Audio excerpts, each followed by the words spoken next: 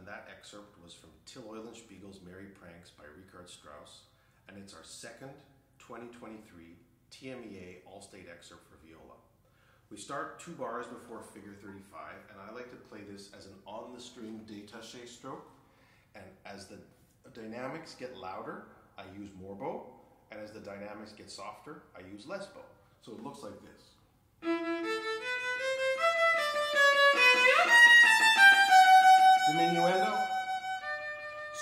Forte accent, diminuendo, subito forte accent, diminuendo.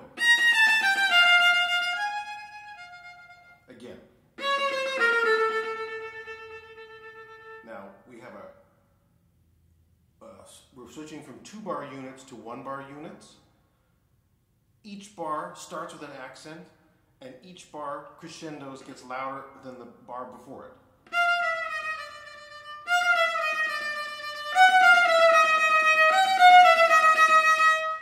Then at bar 36, we've got triple forte and Till Eulenspiegel's main theme returns. We have the subito forte and for, fortissimo and forte dynamics, always starting on the fifth, eighth note of each bar. So we want to bring out those dynamics, but also the phrasing.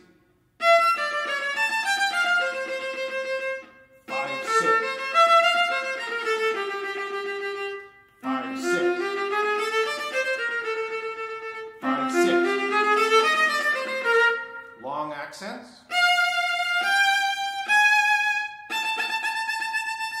And then here we've got Till Eulenspiegel's Horse Ride that goes a little bit crazy. I play it in the lower half off the string.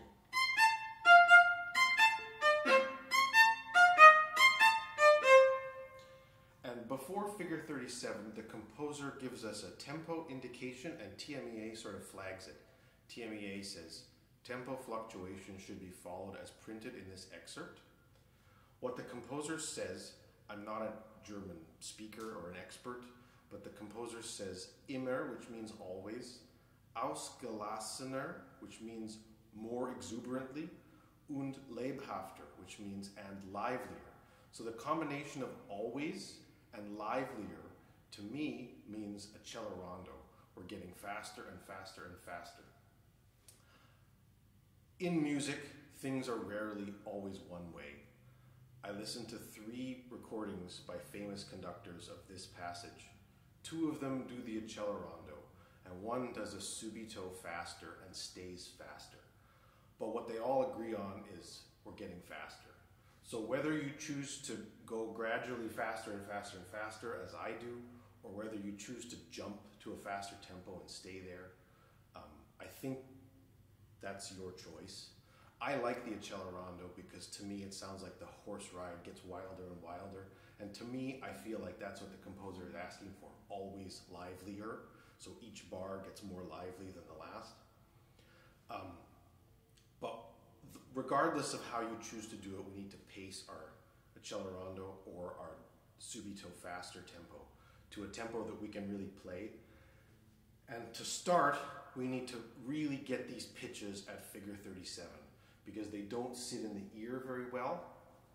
Except figure 37, as difficult as that is, think back to our laughter motif in our first excerpt.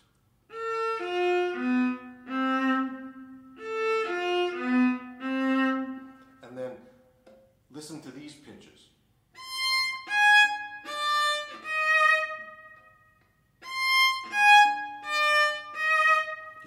The same motif? He's just transformed it into eighth notes. And we're going faster and faster. And again, pick up to the fourth bar of 37. Same motif. So it might help to get that in your ear. The last line is pretty tricky for pitches. We have to do this slowly. I find, I imagine adding an extra note in the last line between the first and second bars. I add a G natural as the note I shift to. Even though that G, I don't play the G and it's not written, I shift from the E flat to the G. Helps me get my B flat. And then once I get my B flat, In my mind, I flip the C flat, A flat to B, G sharp. It helps me hear B, G sharp, A, G, G sharp, A. Like that. So that's work that you really need to do slowly and carefully to get those notes in your ear before you think about how fast you're going to play it and how you're going to get to the end. I play it all in the lower half off the string. The last two bars, we have our famous ricochet. I start by practicing it just six eighth notes from the elbow, kind of good mechanics, easy, like that. And then the second eighth note, we just let the bow fall twice. Like that. At a fast tempo, fortissimo, I find I have to squeeze the bow quite a bit with my fingers so that the ricochet is fast and percussive and clear.